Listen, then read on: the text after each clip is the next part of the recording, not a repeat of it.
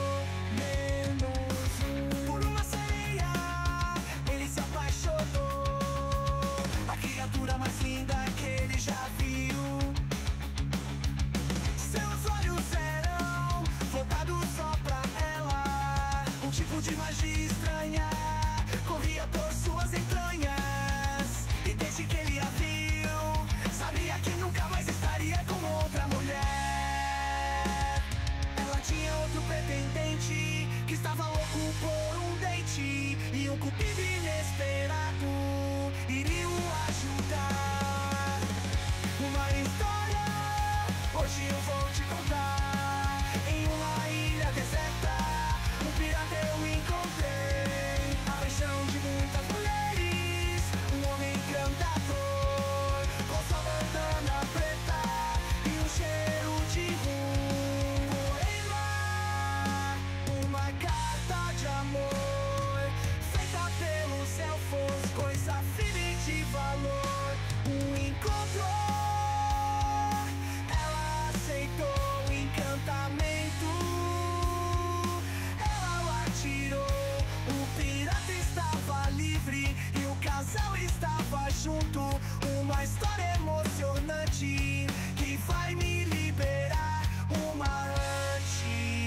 Spoiler, não foi assim que começou meu dia não, eu comecei no level 47, né? Terminei o episódio passado no level 47, comecei 49, como assim? Não dá, né, meu querido? Então vocês já sabem que isso aí foi o futuro. Eu fui ali no Grizzly Adams para variar, peguei mais uma task de Stone Golem e o meu 11 primeiro dia começou como qualquer outro dia da minha vida inteira por mais que eu adore caçar em Meriana aqui, meu, faz 379 horas que eu tô nesse lugar. Parece que a minha vida inteira foi aqui, né, cara? Eu tô meio triste, desanimado, descontente. Pegando a task de Stone Golem, eu percebi que, meu Deus do céu, vai demorar uma eternidade para eu conseguir terminar os Stone Golems aqui. Já tinha terminado Gargoyle, ainda tinha ali, obviamente, Turnback Tortoise, mas tem um lugar melhor para caçar Turnback Tortoise. E aí a gente volta, né, ali ao acesso que eu acabei de fazer, ajudando o Gremlin Striker a se livrar de uma maldição e fazendo com que o Dijin e a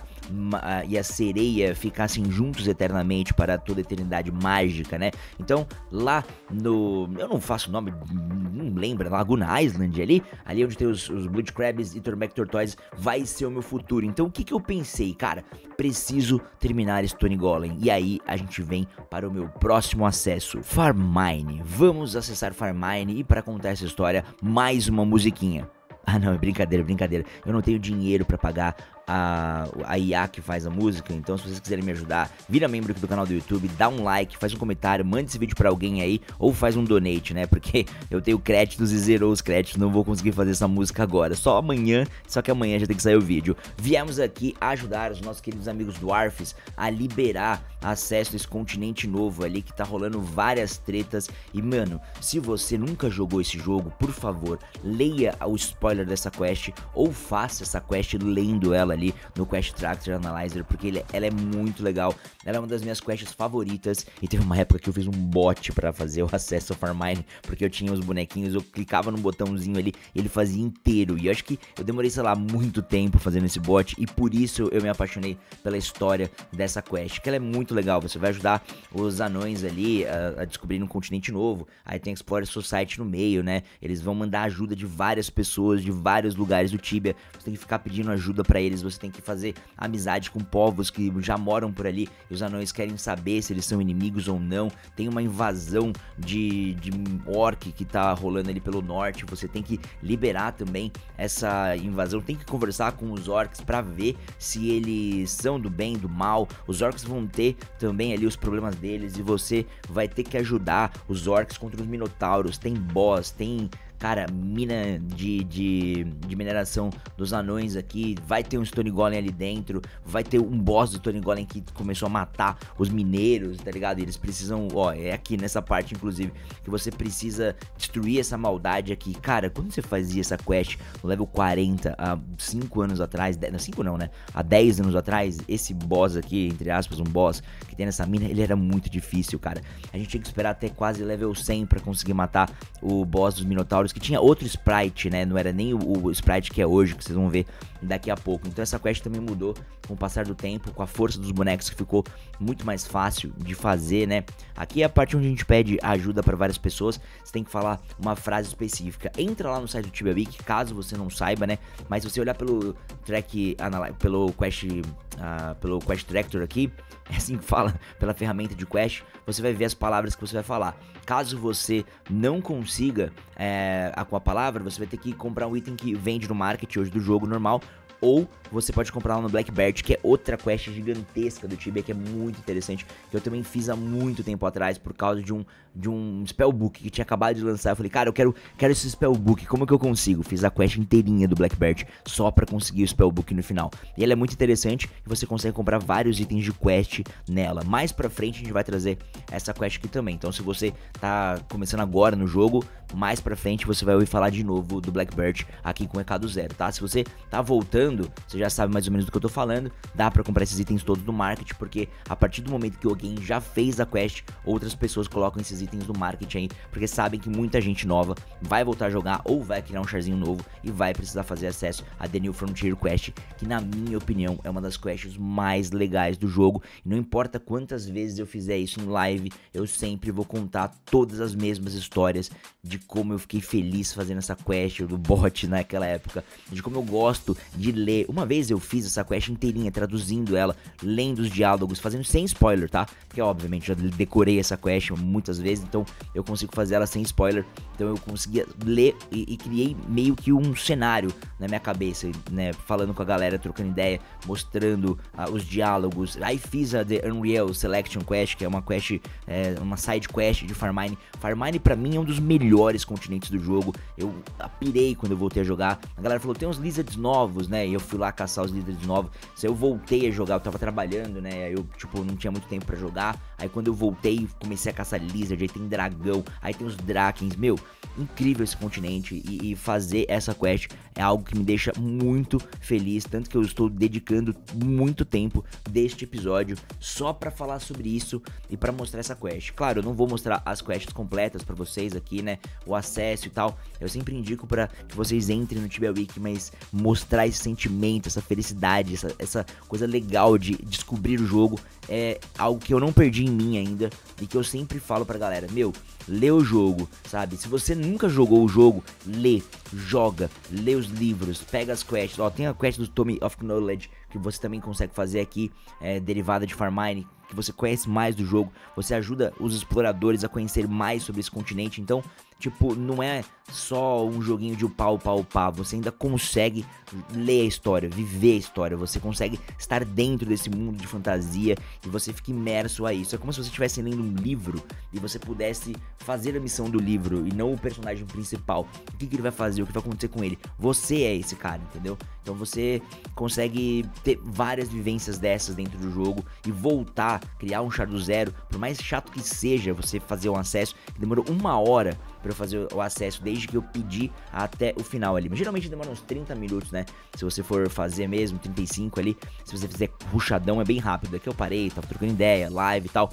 Mas mesmo que você que seja chato, se você parar para ler o que tá acontecendo ali, você vai gostar e você vai se divertir. Então, fica aqui a minha menção honrosa a esse acesso, que é um dos mais legais do Tibia. Inclusive, eu curto muito também todos os acessos ali de Alahar. Para mim é interessantíssimo a parte dos vampiros, mas aí a gente vai falar disso daí mais pra frente. E eu fiz todo esse acesso só exclusivamente para matar ali, como vocês podem ver, 130 Stone Golems na mina de Stone Golem que a gente libera aqui. Logo depois da missão 6, a gente libera a mina de Stone Golem para caçar aqui. Ainda não dá para comprar as magias ali, né, na, na no NPC deles, porque tem que fazer mais acesso mais pra frente. Então, imagina, não, desculpa, os potions, né? Então eu vou fazer, vou demorar um pouquinho mais nessa missão, porque eu vou ter que voltar para Daracha, né, ou, ou Edron ali para refilar, então isso vai demorar um pouquinho mais. Mas a gente liberou agora, nesse momento, a mina dos Stone Golems aqui em Farmine e agora a gente vai terminar mais uma vez aí, uh, mais, uma, mais uma task e mais um bestiário, né? Falta, faltava tipo 200 Tony Golems e aí nessa mina aqui a gente consegue fazer isso de uma forma bem rápida, bem fácil. Inclusive deu muito mais experiência e muito mais dinheiro do que eu imaginei que daria, tá? Tem dois andares aqui em cima, vocês vão ver aí pelas, pelas imagens, né? Tem Gargoyle, Sto é, Stone Golem e também os Goslers, né? Que é um bom lugar para você adiantar o Bechar de Gosler e depois terminar aqui no, no Fast Resp, tá? Não é o recomendado na minha cabeça aqui terminar, pelo menos agora, o Bestiário de Gosler, tá? Vai ser mais lá pra frente mesmo. Me corrigindo aqui, né? Não dá dinheiro não, essa hunt aqui ela dá prejuízo, mas menos, né? Mas deu mais XP do que eu esperava, eu dava até, até mobando e deu pra terminar muito fácil aí o Bestiário de Stone Golem e também a task deles. E foi assim que nós finalizamos o 11 primeiro dia e o segundo dia aí deste deste vídeo. O 12 dia foi onde nós fizemos um acesso aí que vocês acabaram de ouvir a musiquinha maravilhosa. Se vocês gostaram da música, faz um comentário aqui embaixo, deixa seu like já, ajuda a gente a engajar esse vídeo aí. Muito obrigado, mano. Você tá curtindo essa série? Pô, que legal, mano. Então, vamos lá agora fazer dinheiro, porque a gente quer colocar em build nesse boneco. Inclusive, esses dias eu falei que eu não fico falando muito a gente quando eu falo desse projeto, porque na verdade sou eu que tô fazendo, não a gente, né? Mas eu tô usando muito a gente nesse projeto. E eu falei muitas vezes eternamente aqui também. Então, fala aí pra mim quantas vezes eu falei eternamente ou quantas vezes eu falo a gente. Sempre que eu falar a gente, faz um comentário aí embaixo, tá? Beleza? Valeu. Porque não é a gente que está jogando, sou eu, mas é a gente que está fazendo o projeto, né? Porque vocês estão assistindo e só estão aqui por causa de a gente. E, nossa, vamos voltar pro que interessa agora, que é a hunt que eu vou mostrar pra vocês lá de Turnback Tortoise e Butch Crab. Antes disso, praia. Ah, que delícia. Calma, calma, editor, isso é do vídeo passado, tá? Pode ir pra próxima hunt. Calma. Laguna Island pode ser um dos melhores acessos aí para você fazer no comecinho do jogo, né? Porque, como vocês já viram, eu tenho caçado bastante aqui em Peg Leg, Back Tortoise, Turtles, Gargoyles, Turngolem, tudo isso, Tarântulas ali.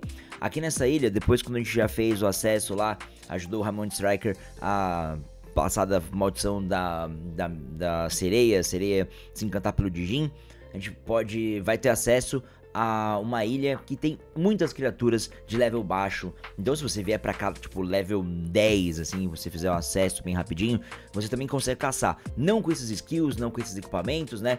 Mas você já consegue vir para cá. Tem um zumbi na ilha, tem um monte de coisa que eu não mostrei nesse projeto, mas tem tartarugas também, né? Onde você pode caçar. Tartaruga é um pouquinho mais chatinho, vocês já viram aí em vários momentos lá no começo, matando crocodilo, batendo as tartarugas, elas são bem fortes. Também não recomendo esse acesso inteiro. É muito mais fácil fazer hunt já de tartaruga lá em lá em Yalahar, né? Inclusive, essas tartarugas daqui tem uma história muito legal, porque no passado as pessoas boteavam muito por aqui e não existia Turtle Shell, ou na verdade ele existia, mas ele não era tão caro quanto ele é hoje por causa da utilização dele. Naquela época a utilização dele era meramente ilustrativa, eu nem lembro se tinha alguma utilização ou se não dropava mesmo. O pessoal caçava por aqui por causa do gold, exatamente. No passado, antes da era dos imbuements, antes de tudo, as pessoas matavam as criaturas criaturas pelo Gold. Então muita gente boteava lá nas tartarugas de, de, de Meriana, de Laguna Island aqui, e eles colocaram uma criatura anti-bot,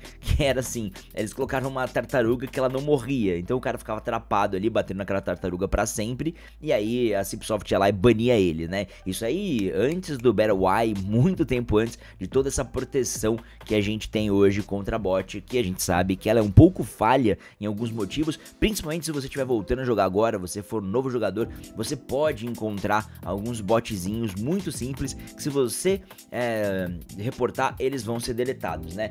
Por isso, em Winter Wolf pode ter, Gloom Wolf, né? Em várias hunts do que eu não que eu decidi não fazer, por exemplo, Amazon Camp, no Amazon Camp inclusive, nós encontramos um botter aqui quando nós fomos pelo pro Amazon Camp. Então, assim, vai encontrar alguns Downflies lá em ou Port é, Downflies ou é, no Swamp Trolls lá de Venore, sempre tem um carinho ou outro assim, meio automático, você pode reportar. Não é um bot massivo como já foi no passado, então pode ficar, pode ficar é, despreocupado, pode ficar tranquilo que você não vai encontrar, por exemplo, em todos os lugares do mundo. Mas aqui nessa cave, onde nós iremos caçar agora, pode ser que tenha também um bot. Eu já encontrei um aqui, mas é muito raro. Área PVP, é, área, é, área premium, assim, é muito difícil encontrar, mas é porque o pessoal não vai gastar 50 reais pra ser deletado, né? Entendeu? Então, assim, é, é tem, tem muito mais risco dele perder o boneco. Então por isso que ele vai pegar um level free account que ele criou num dia, fez um dinheirinho ali, manda para outro boneco, e aí esse dinheiro que ele mandou para outro boneco, ele acaba, sim, se ele for deletado, ele cria outro no outro dia, se ele não for deletado, ele, se, ele aproveita. Ó, aqui inclusive você também pode agilizar o Bechar de Toad, que nós já começamos o Fast Resp, né, então pode ver ali que eu já tenho quase 200 Toads mortos, né, é, dá pra terminar por aqui também.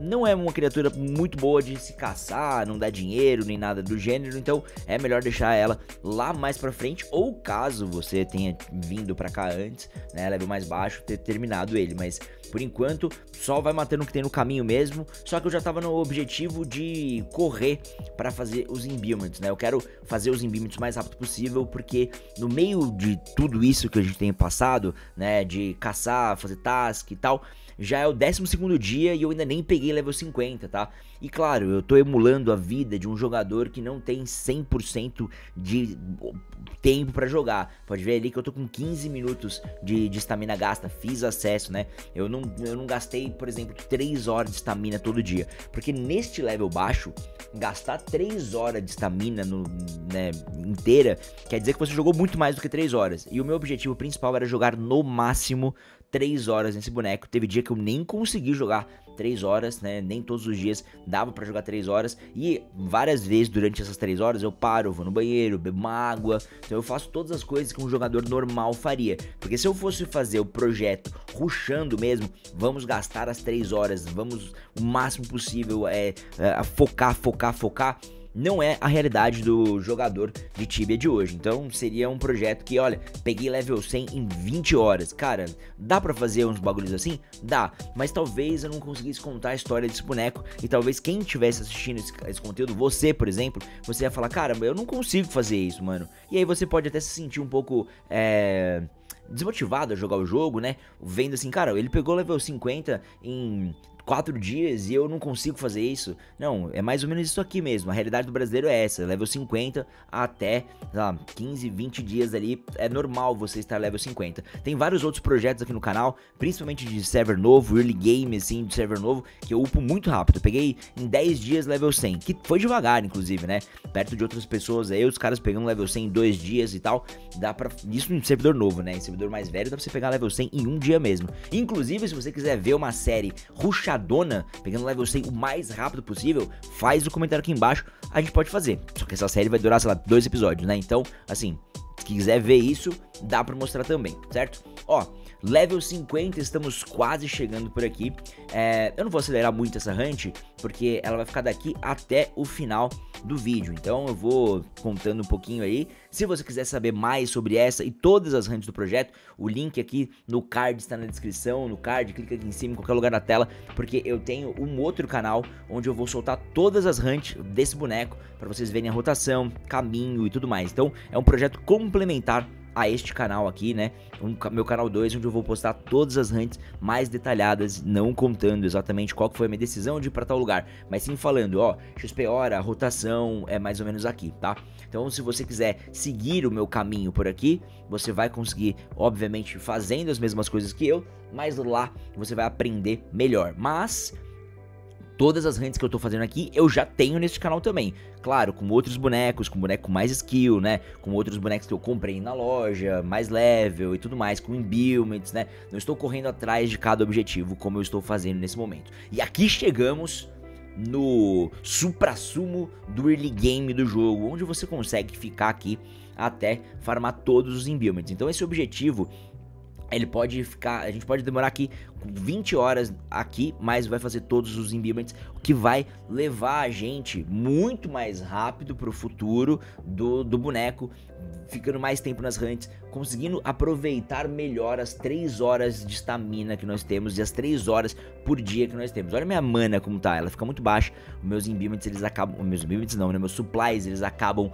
muito rápidos, né? Então, é, uma, como você é level muito baixo, e, e aqui não é uma hunt muito perto, né? Assim, pro, pro level ela não é muito perto, você tem que andar toda a ilha, depois sai lá no norte de Liberty Bay, desce pra Liberty Bay, vai, anda a ilha de novo, anda mais essa outra ilha, aí entra no buraco, anda mais quatro, cara, é longe, então você vai um tempo aí pode ver que não tá acelerada, então você vê que, meu, demora um tempo para fazer isso. Então, como você fica 20, 25 minutos na hunt, você ainda demora mais uns 5 minutos para ir refilar e voltar. Então, assim, já é 20 minutos da hunt, 5 para ir, 5 pra voltar, já é meia hora que você só gastou 20 minutos de estamina. Aí, né, eu tô correndo ainda. Geralmente você vai fazer isso aí em 40 minutos. Aí em 2 horas, 2 horas e meia que você tem pra jogar, você vai fazer basicamente dois refills e vai ver que demorou demais pra você fazer dinheiro e demais também pra você upar. Aí vai parecer que você não evolui nunca e você vai ficar desanimado, tá? Então o que acontece? É, o imbuement ele é muito importante. Então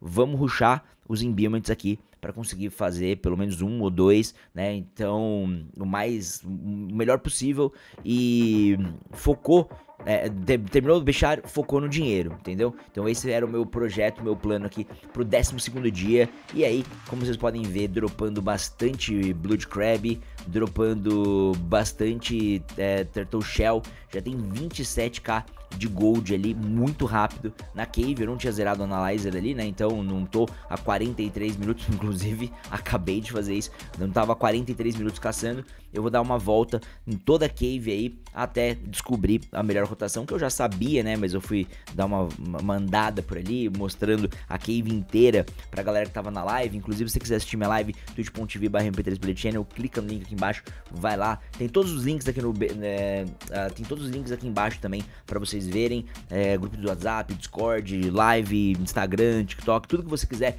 clica aqui e vai para lá. Inclusive, se você quiser me ajudar a continuar esse projeto, você pode virar membro aqui ou então comprar algum produto na Amazon no meu link de afiliado. Eu tenho uma lojinha aqui embaixo onde eu indico coisas e também tem mais dois, três links da Amazon que você pode comprar promoções, os melhores produtos, os mais vendidos, tudo aqui embaixo, tá? Então assim, o seu tempo de tela assistindo, seu comentário é muito importante e se você quiser ajudar mais, pode virar membro ou então também, claro, comprar algum produto que você precise aí da, da, da lista de coisas que eu te indico, beleza? É, bom, mostrando essa cave aqui, é, chegamos finalmente a um ponto muito importante deste projeto que foi o nosso primeiro imbuement. E eu escolhi colocar imbuement no meu helmet, porque a arma que eu já tinha contado para vocês lá, que eu dropei na cave, né, a minha Warhammer, eu peguei minha Warhammer na hunt ali no level 50, peguei o level 50, peguei a Warhammer, coloquei ela ali. Se eu coloco o imbuement na Warhammer, ele vai ficar diferente, porque são três imbuments que se colocam na Warhammer, e aí eu preferi colocar Manalite no meu helmet para eu não ter essa discrepância de, terminar o Imbuement de Manalite primeiro na Warhammer e sobrar o Imbuement de vida e de crítico, porque esse Imbuement seria perdido, né? Se eu não colocar os três Imbuments ao mesmo tempo na Warhammer, eu vou perder esse Imbuement, porque eu vou trocar de arma e colocar Imbuement na próxima. Aí não vale a pena eu recolocar Imbuement de mana na Warhammer e aí ficar com crítico e vida lá ainda nela, né, pra terminar e tal. Melhor colocar os três ao mesmo tempo, terminar os três ao mesmo tempo na arma e então o Helmet depois eu vou reutilizar. Esse Helmet aqui eu vou utilizar até o level 200, até eu ter dinheiro para ter um Terra Helmet. Então vai, level e dinheiro para ter um Terra Helmet. Então ele vai seguir comigo por bastante tempo. Então o objetivo foi esse. E eu posso pedir ajuda para qualquer pessoa desde que eu tenha farmado os equipamentos. Então eu farmei ali os itens, preferi comprar é, todos os itens dos environments ali pelo marketing, né? Então eu comprei tudo pelo marketing, entreguei para um brother da live e ele fez o imbuement do meu helmet e aí finalizamos aí o primeiro imbuement e vou voltar para cave para caçar com o finalmente para demorar mais tempo ainda e já deu para ver uma evolução enorme na Hunt com um imbuement apenas. E é powerful, tá? Eu não vou colocar intricate, eu não quero colocar intricate, eu não recomendo ninguém colocar imbuement intricate, tá? Intricate eu tier 2 ali, não coloquem, na minha opinião, não vale a pena, é uma economia que não vale a pena, não vai te ajudar nada o intricate, só vai fazer você gastar dinheiro e, e achar que o imbuement não presta para nada, tá? Então não coloquem intricate tem gente que vai fazer você acreditar que intricate é bom. Cara, você vai gastar 20k a mais ali por hora por, um tier 3. Isso daí é, é irrisório perto do lucro e do benefício que esse Imbuement te dá, tá? E, para finalizar, o nosso 12 dia caçando agora com o Imbuement no helmet, mostrando aí a força e a maravilhosidade deste desse imbuimento, desse encantamento nas armas, algo que revolucionou o Tibia aí. Muita gente ainda não sabe o que é imbuement, não viu, não não fez, né, não pegou o, o update tá voltando agora. Imbuement é uma, um encantamento que você pega uns itens, encanta uma arma e aí, por exemplo, aqui eu tô com roubo de, de mana. Então, a minha mana dura muito mais tempo durante a hunt. Então, sempre quando eu dou um ataque básico ou uma magia, volta um pouco de mana para mim e é por isso que eu fico mais tempo na hunt, porque o meu supply demora mais para acabar. Então, isso potencializa. Tem um roubo de vida e também tem o crítico, que são os três imbuments basicamente principais aí que todo mundo usa. Obviamente tem outras coisas de proteção, né? E também o imbuement de skill, mas esses a gente não vai utilizar por enquanto. E por enquanto tô com um só.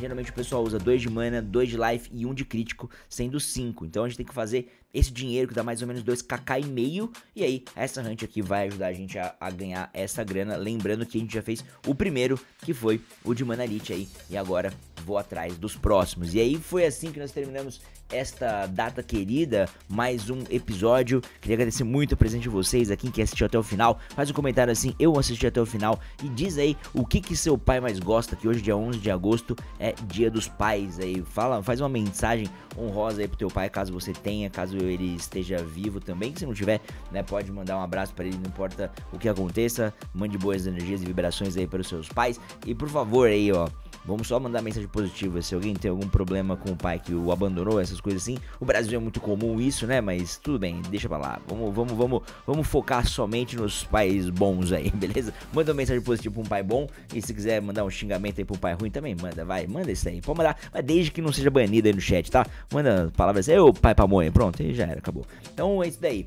Terminamos aí mais um dia, level 51, muito bom, muita felicidade, amor, paz, praia e áreas desertas, ratos, bugs baratas, e é isso. Finalizamos ali o Bestiário Turnback Tortoise, também é, a Blood Crab tá quase acabando, então tem ali, pode terminar Tortoise, Blood Crab no próximo episódio, também... Uh, também não sei qual que vai ser o meu rumo aqui pra frente, se eu vou continuar farmando dinheiro nessa hunt ou se eu vou finalizar ir pra outra pra farmar mais dinheiro, outro Embiment ou outra coisa. Porque aqui a XP e a grana tava muito boa e poucas hunts de level baixo dão essa grana aí. Eu posso agilizar muito o meu objetivo que é colocar Embiment nas outras armas, tá? Então fica por aí, deixa seu like, faz um comentário aí. Esse episódio foi um pouco mais longo, desculpa, mas espero que vocês tenham assistido todo e tamo junto. Obrigado pela moral, obrigado pelo carinho. É nóis. Quarta-feira tem episódio extra desta série aqui que tá ficando maravilhosa, beleza? Então já clica no sininho, faz um comentário engaja pro YouTube entregar esse vídeo pra você aí, beleza? Não deixa, faz um comentário, o que, que você acha? Quanto tempo você demorou pra pegar level 50? Foi 12 dias? Foi mais? Lembrando que teve dois finais de semana, então foram 16 dias até o level 50, hein? Quanto tempo vai demorar pra pegar level 100? Aí fica uma incógnita. Tamo junto, valeu, tchau, falou, fui!